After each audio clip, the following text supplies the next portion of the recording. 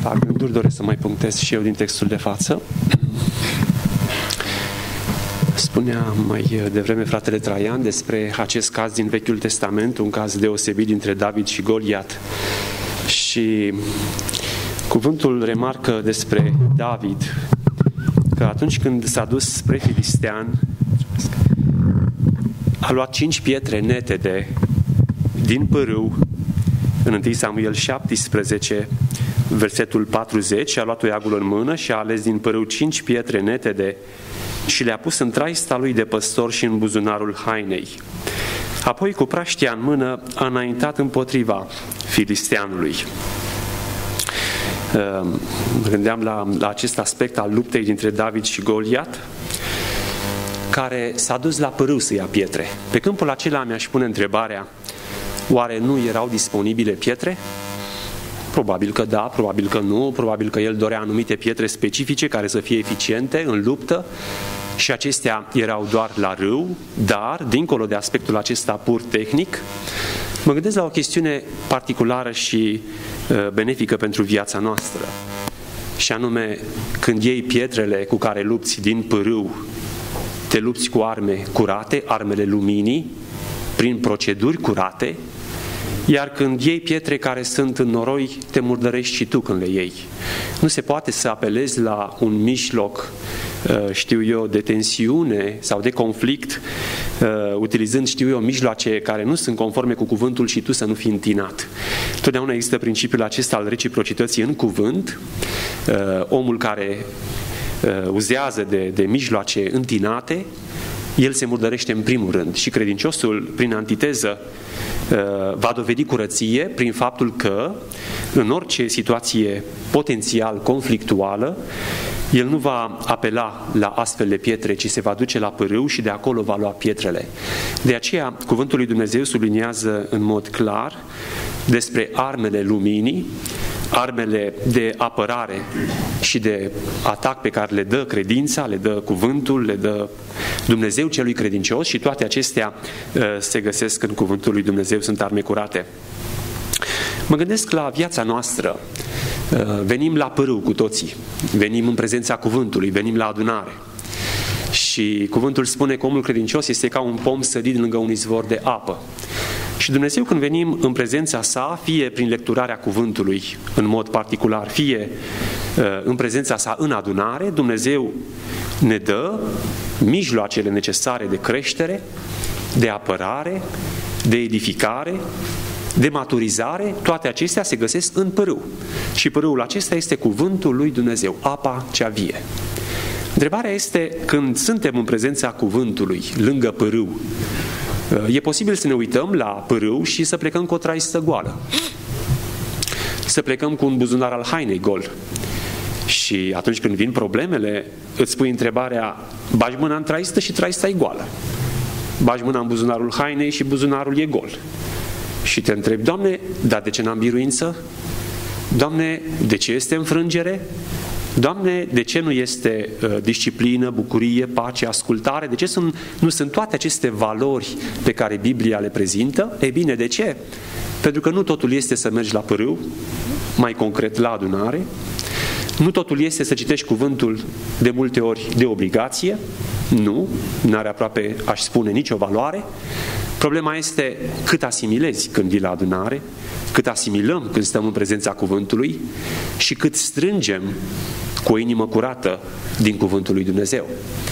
Pentru că, repet, te poți găsi, ne putem găsi în ipostaza în care vine Goliat și nu suntem niciunul scutiți de un asemenea Goliat și într-un astfel de moment tensionat băgăm mâna în traistă, metaforic vorbind, evident, și ne trezim că acolo nu găsim nimic. Și zicem, Doamne, asta este, sunt slab, Doamne, asta este, sunt într-un trup de carne, Doamne, sunt neputincios, asta este, suntem slabi. Dar nu acesta este adevărul. Suntem slabi, da, până la o limită. Adevărul este că omul credincios nu și-a echipat viața prin smerenie, prin ascultare, prin disciplină, cu aceste arme de apărare și de atac pe care izvorul, apa, le dau. Și în momentul în care omul credincios nu își demonstrează această credincioșie de viață, evident va fi vulnerabil. David spune cuvântul lui Dumnezeu că și-a pus pietrele în traista lui de păstor și în buzunarul hainei. Și aș vedea lucrul acesta ca pe o chestiune particulară. Traista de păstor o poți lăsa acasă, o poți lăsa pe câmp, o poți uita la oi. Buzunarul hainei înseamnă o haină pe care o ai totdeauna cu tine. Și este o diferență pe care textul o face, nu întâmplător Biblia ne dă aceste detalii. Pe câmpul de luptă s-o fi gândit David, poate pierd traista, nu știu ce conflict voi avea cu, da- cu Goliat acesta, cel puțin voi rămâne cu niște pietre în buzunarul hainei. Ce înseamnă aceasta? Poate însemna să fiu un credincios sau să fim niște credincioși care suntem credincioși care avem pietre doar în traistă, doar duminica și le lăsăm acasă. Și în timpul săptămânii haina este goală. Haina nu are acel potențial, nu are acea prospețime, nu are acea demonstrare a înțelegerii cuvântului lui Dumnezeu. Credincioși care au pietre în buzunarul hainei, sunt credincioși care înțeleg și trăiesc Evanghelia acolo unde se află oriunde și credincioși care au pietre, dacă le au, doar în traistă. Sau cu alte cuvinte, de duminica și ulterior ceea ce poate am auzit duminica rămâne o chestiune informativă, dar care nu are nicio implicație pe parcursul unei săptămâni. De aceea îmi pun întrebarea aceasta. Unde sunt uh, pietrele pe care Biblia le dă? Unde sunt valorile de apărare și de atac pe care Biblia le dă? Sunt doar undeva într-o traistă care este portabilă, debarasabilă, detașabilă de viața noastră? Sau sunt pietre, cum am spus și repet, care sunt în buzunarul hainei și asta înseamnă că ele ne însoțesc peste tot pe unde mergem. David s-a dus, cum spuneam, s-a dus la părâu și de acolo a luat cinci pietre, uh, arme curate, pietre curate. Și omul acesta s-a dus unde știa că găsește pietre curate și acestea cu siguranță i-au adus biruința. El nu și-a pus piatra în praștie de la început. Este foarte interesant acest aspect. Te duci înaintea lui Goliat și te-ai fi așteptat ca David să fie gata, să fie permanent în stare de alertă, să fie gata totdeauna să zvâcnească, să reacționeze și să arunce piatra, nici pe departe. Biblia spune că a, înaintat în, înaintea, a mers înaintea lui Goliat, a spus ce a avut de spus în pace și în liniște. Este impresionant calmul de care dă dovadă David într-o situație de luptă, într-o situație în care poate cei mai mulți izraeliți ar fi fost copleșiți total de un astfel de moment tensionat. David dă dovadă de o călăuzire impresionantă, de o pace impresionantă, de o liniște impresionantă. Și când își termină prezentarea sa magistrală despre slava lui Dumnezeu și despre puterea lui Dumnezeu în acea situație, el atunci bagă mâna în traistă și și ia piatra cu care l-a lovit pe filistean. Uh, este un adevăr, și anume, când izraeliții au trecut Marea Roșie, este un Moise care stă liniștit și spune Domnul se va lupta pentru voi, dar voi stați liniștiți și sunt izraeliții care au început să țipe, să facă zgomot. Aceasta este regula cel mai frecvent și în viața omului credincios. Omul care are pietrele în buzunarul hainei, care are cuvântul, care are acea încredere în Dumnezeu și acea ascultare de Dumnezeu, merge în liniște în viață și în pace. Omul care nu le are e foarte zgomotos, pe unde ar fi, foarte zgomotos. Aceasta demonstrează o traistă goală, o haină goală și de multe ori o inimă goală. De ce? Repet, Moise este omul care avea o inimă călăuzită, o inimă adăpată în Dumnezeu, o inimă care se predase lui Dumnezeu și datorită acestora el putea să meargă în pace și în liniște. Poporul prin antiteză uh, am văzut ce atitudine uh, a avut. Spunea fratele Sergiu mai devreme despre versetul acesta, voi puncta doar câteva aspecte. Stați gata, dar având în mijlocul, în, în, în cer scuze, versetul 13, uh, ca să, ca să vă puteți împotrivi în ziua cea rea și să rămâneți în picioare după ce veți fi biruit totul. Ziua cea rea probabil să fi însemnat pentru credincioși o zi de încercare, o zi de persecuție, probabil să aibă și o semnificație de perspectivă escatologică uh, pentru evrei, nu știm exact. Cert este că ziua aceea este o zi cu care se va confrunta fiecare credincios într-un moment sau altul. Uh, nu este vorba doar de o echipare pentru situații punctuale, excepționale, uh, singulare, nu, ci este o echipare a credinciosului în fiecare zi. Și ziua aceea poate să vină, poate să fie o zi rea de prigoană, o zi rea de boală, o zi rea de eșec, o zi rea în care lucrurile nu-ți merg cum trebuie, dar pe fond ziua aceea se referă la acest aspect de persecuție pe plan spiritual. Am extrapolat puțin pentru a aplica această, această expresie la viața noastră de zi cu zi.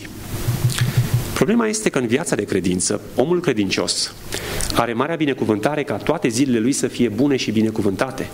Să fie, zi, să fie zile de soare și zi de împlinire și le pot fi. Problema este că de cele mai multe ori oamenii își fac zilele rele. Nu ele sunt rele prin ele însele. Noi nu trăim zile de prigoană. Noi nu trăim zile de foamete, de lipsuri, de știu ce calamități naturale care ar veni peste noi și față de care nu, aveam, nu am avea niciun control, și înaintea lui Dumnezeu putem spune că trăim destul de bine. Și dacă vrem să fim nemulțumitori, vom găsi totdeauna motive de nemulțumire, indiferent cât de bine sau de rău am duce-o. Cuvântul spune ca să stați în picioare și să vă împotriviți în ziua aceea. Uh, repet, vor veni zilele încercare peste fiecare credincios. Cuvântul spune că în urma acelei zile de încercare trebuie să stai în picioare, să rămâi demn, să rămâi un om cu o mărturie curată și să ieși un om biruitor. Au fost credincioși care de-a lungul timpului, în zile de persecuție, uh, când erau aruncați la fiare sălbatice, n-au rămas în picioare fizic. Evident că n-au rămas. Ci și-au dat viața, și-au dat sângele lor uh, pe altarul acesta al, al, al martirajului. N-au rămas în picioare. Și Biblia spune, totuși în ziua aceea rea, i-au rămas în picioare prin mărturia lor înaintea lui Dumnezeu, prin demnitatea lor, prin verticalitatea lor. Au rămas în picioare ca mărturie pentru Evanghelie, pentru slava lui Dumnezeu. Față de astfel de, de cazuri uh, excepționale, uh, luminoase. Credinciosul este de multe ori un pigmeu. De ce? În zilele noastre. Pentru că noi, repet, nu avem de-a face cu așa ceva. De cele mai multe ori, repet, zilele nu sunt rele prin ele însele, ci omul și le face rele. Și nu putem să îi imputăm lui Dumnezeu, Doamne, de ce o duc așa, când de multe ori Dumnezeu îți va spune, ziua care ți-am dat-o e o zi frumoasă, este o zi cu soare, dar ia vezi ce tușuri de negru i-ai dat tu prin felul în care ai trăit. Și tușurile acestea le dă omul din belșug când nu este atent și când nu veghează înaintea lui Dumnezeu. Uh, Cuvântul spune, luați scutul credinței cu care veți putea stinge toate săgețile arzătoare ale celui rău. Ne spunea un frate, fratele Nelu Zărnescu că sunt uh, săgeți luate direct din iad. Și bine spunea, sunt uh, săgeți luate direct din iad. Dar vreau să punctez un, un aspect particular uh, și anume credincioșia la care ne cheamă Dumnezeu este o credincioșie mare. Și totuși Cuvântul spune, Domnul Hristos spunea, dacă ați avea credință cât un grăunte de muștar, ați spune muntelui acestuia, scoală, ridică-te și aruncă-te în mare. O expresie grea, deosebită. Și mă gândesc la viața noastră, ce înseamnă scutul credinței? Scutul credinței este un scut care, apelând la lucruri aparent mici, rezolvă probleme enorme. Aceasta înseamnă, aplicat în viața noastră, dacă ai avea credință cât un grăunte de muștar, ai spune muntelui acestuia, ridică-te și aruncă-te în mare. Sau cu alte cuvinte, dacă noi ne-am încrede în Dumnezeu, dacă l-am am trăit cum vrea Dumnezeu, dacă am avea acea credință veritabilă uh, în Dumnezeu, problemele acestea ar deveni insignifiante și problemele ar deveni insignifiante.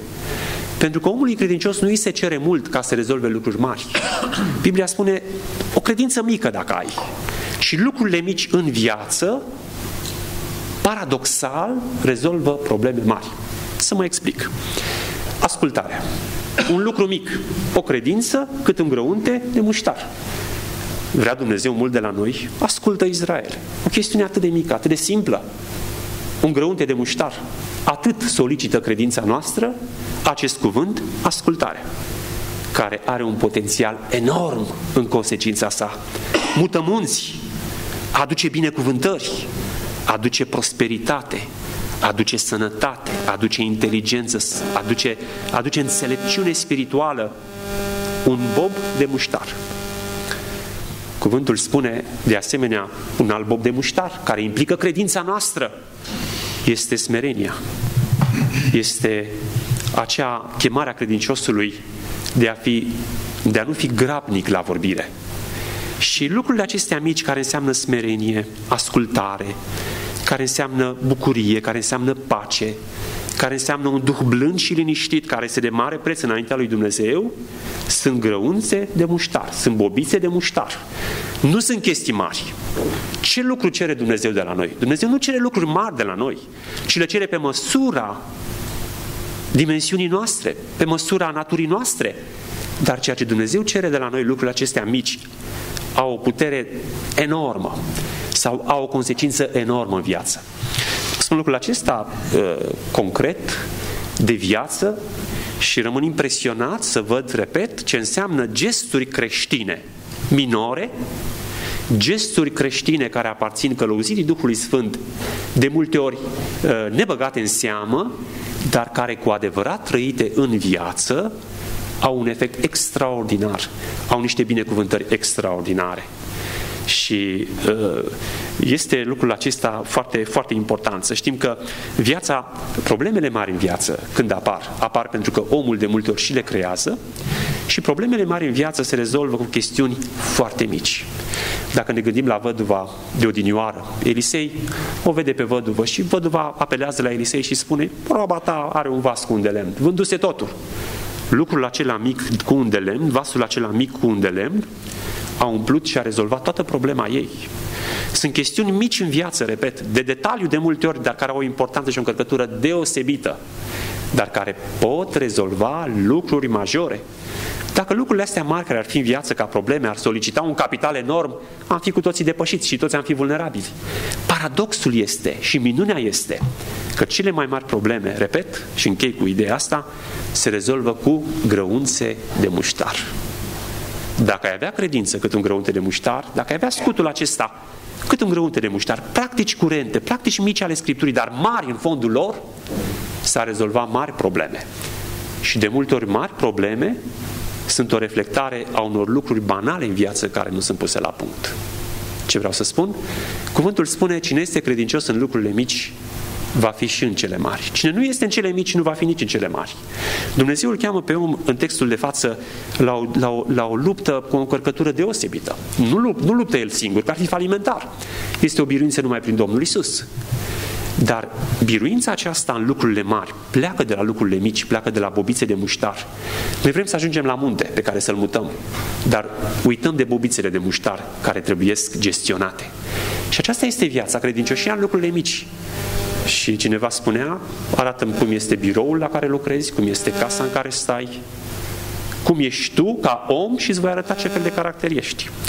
Îți voi arăta ce poate Dumnezeu să facă cu tine și îți voi arăta ce disciplina ai în viață. Domnul Hristos când a înviat, Domnul Hristos spune cuvântul, ștergarul era făcut sul, era ordine, când Domnul Hristos a înviat, nu era un haos. Când Domnul Hristos de asemenea a mulțit pâinile și peștii, putea să spună, hai să plecăm din spațiul la verde. Ce cum mai contează niște firimituri? Și totuși Domnul Hristos a spus, strângeți toate firmiturile. Cum, Doamne, te ocupi de detalii? Da, te ocupi de detalii. Credincioșii, ucenicii, înainte ca să meargă să evangelizeze, să-și dea viața pentru Domnul Hristos, au trebuit să se ocupe de firimituri. Firimituri. Rămâi impresionat și spui, Doamne, e posibil așa ceva? Este extrem de posibil și extrem de real. Un credincios, repet, falimentar în detaliile lui de viață, e un credincios incalificabil pentru a fi în slujba lui Dumnezeu. Va rămâne un mediocru toată viața lui și nu va putea fi folosit de Dumnezeu pentru slava sa. De ce? Pentru că cine este credincios în lucrurile mici, cine este atent în gestionarea lucrurilor mici din viața lui, aparent mici, pentru că acestea reflectă un caracter profund, o educație profundă care ai primit-o și în final acestea se, se manifestă în viață. De aceea spun ucenicii, înainte să-și dea viața pentru Domnul, înainte să evangelizeze lumea, înainte să, să depună acele, acele uh, să, să, să uh, exprime acele predici extraordinare prin Duhul Sfânt, s-a ocupat de firimituri. Dar acestea erau lucruri de detaliu, repet, care modelau un caracter, care formau un caracter un caracter care ulterior putea fi folosit de Domnul în slujba sa. Nu mă refer la firmiturile în sine, ci înțelegeți ideea, e vorba de detaliile de viață. Și închei cu un gând, uh, și anume, Biblia spune, luați și sabia Duhului care este cuvântul lui Dumnezeu. Uh, sabia Duhului este cuvântul lui Dumnezeu, o sabie care pătrunde, mai tăitoare decât orice. Cuvântul lui Dumnezeu, știm bine versetul, care pătrunde și este lucrător, sabia Duhului, și mă gândesc la acel moment din Ghețimani, în care Petru avea și el o sabie. Și Domnul Hristos nu-l chemase pe Petru să scoată sabia aia. Nu, nici vorbă. Dar Petru dormise bine, dormise bine. Domnul îi spusese, Petre, dormi, eu mă rog. Petru dormea. Și te miri după aia când Ghețimani scoate sabia, păi nu te miri. Și îmi pun întrebarea în adunare, când Domnul vorbește, oare noi dormim? Să nu ne imaginăm că este o excepție chestia aceasta, ci este o chestie care vine așa de insidios, așa de perfid, te gândești la alte probleme, cuvântul ți se pare neinteresant, cuvântul ți se pare poate, uh, știu eu, neaprofundat, uh, nestudiat, te crezi deasupra și ca atare te gândești la altele și dormi, dormi. Și vine gloata cea mare cu făclii și vine și cu arme. Și scoți și tu arma. Ce să scoți? Scoți sabia. Și aceasta este dovada, un credincios care scoate sabia. Este un credincios care a dormit, a dormit când trebuia să vegheze și doarme bine. Și un credincios care veghează la cuvântul Domnului, un credincios care este serios cu Dumnezeu, în detalii, este un credincios care nu va scoate sabia. Despre Domnul se spune, nu se, el nu va striga și nu îi se va auzi glasul pe ulițe. Cunoști un credincios după câți decibeli scoate, după cât de zgomotos este, după cât de liniștit este în Domnul. Cu cât un om credincios este mai gălăgios, cu atât este mai puțin odihnit în Domnul. De ce Moise le spunea izraeliților, stați liniștiți, pentru că Moise avea liniștea aceea, avea pacea aceea. Izraeliții nu aveau, erau frământați. Și Moise devine foarte activ, pentru că dormise când trebuia să fie veghetor. Uh, scuzați, Petru, da, Petru. Uh, dormise când trebuia să fie veghetor. De aceea am punctat acest aspect, și anume sabia Duhului. Uh, sunt oameni care spun că au sabia Duhului, că acționează în Duhul lui Dumnezeu și în realitate nu acționează. Oare trimișii marilor preoți nu aveau și ei arme și făclii? Arme și făclii. Sunt astăzi oameni care țin cuvântul în mână și în, în numele cuvântului uh, spun că au lumina și îl folosesc cuvântul într-un sens pervertit de a face rău. Nu ne sunt străine lucrurile acestea. Și invocă lumina, invocă făclia, invocă felinarul care l-au pentru picioarele lor. Dar armele lor sunt armele care nu sunt supuse lui Dumnezeu, ci sunt firești, care nu aduc binecuvântare, ci aduc dezbinare. Credinciosul totdeauna, uh, repet, când va fi călăuzit de Duhul lui Dumnezeu, și trebuie să fie călăuzit de Duhul lui Dumnezeu, al minter nu e credincios, el va sta liniștit, glasul nu îi se va auzi pe ulițe, pentru că acolo este lucrarea Duhului lui Dumnezeu. De aceea uh, spun acest aspect uh, uh, și anume, noi, cuvântul de față prezintă această, această negură a acestor, acestei ierarhii a, a, a întunericului. Și dacă noi ne uităm la lumea care ne înconjoară și te întrebi, Doamne, cum e posibil așa ceva? De ce se întâmplă atâtea probleme, atâtea necurății în jurul nostru? Pentru că rațional nu găsești o explicație. Pentru că oricât ai fi ca om, nu trăiești 100 de ani sau 200 de ani sau 300 de ani, trăiești 70, 80 și după aia treci, nu e nimic cu tine dincolo. Ci este vorba de această înșelăciune, este vorba de această lucrare a răului, este vorba de aceste domnii care au strategia lor. De ce spune cuvântul în fiecare zi toate întocmirile gândurilor oamenilor erau îndreptate numai spre rău la potop, înainte de potop? Pentru că așa erau oamenii, se trezeau și ei se gândeau cum să clocească răul. Și oamenii astăzi de multe ori se scoală, se gândesc cum să clocească răul. Și sunt aceste domnii, această ierarhie a întunericului, care are un singur target, și anume cum să amăgească pe oameni, cum să-i țină robi în păcat și cum să aducă haos în omenire. Este incredibilă puterea aceasta dominatoare a răului, dincolo de scena aceasta care de multe ori ne revoltă, ne surprinde și părem de multe ori atât de, atât de neputincioși în fața ei, este autorul din spatele scenei, este această putere extraordinară a întunericului care îi subjugă pe oameni, care îi domină. Și de multe ori oamenii nu sunt conștienți de ceea ce fac, deși sunt responsabili de faptele lor. Uh, Domnul Hristos a câștigat biruința pentru noi. Pe crucea Golgotei el a dezbrăcat domniile și stăpânirile și a ieșit biruitor asupra lor prin cruce, iar credinciosul este chemat nu doar să afișeze o platoșă a neprihănirii, este ușor să afișezi platoșa a neprihănirii. Este ușor să afișezi un scut al credinței. Problema este ce e de resubt. Este o inimă bună, este o inimă curată, îmbrăcați-vă cu o inimă plină de, spune cuvântul lui Dumnezeu. Domnul nu vrea doar aparențe. Acestea sunt necesare, dar aparența trebuie să învăluie, să acopere un fond schimbat. Trăim într-o lume în care dorim platoșă, dorim biruință, dorim scut, dorim coif, dorim tot ceea ce este manifest în exterior, dar fără o inimă schimbată. Și evident, ești falimentar, n-ai niciun, niciun sorț de izbândă, pentru că regula este întâi inima schimbată, Întâi o inimă lucrată de Dumnezeu și după aceea toate celelalte aspecte care le echipează pe credincios cu toate implicațiile lor în detaliu pe care le vom vedea și care vor aduce biruința în viața lui. Amin. Amin.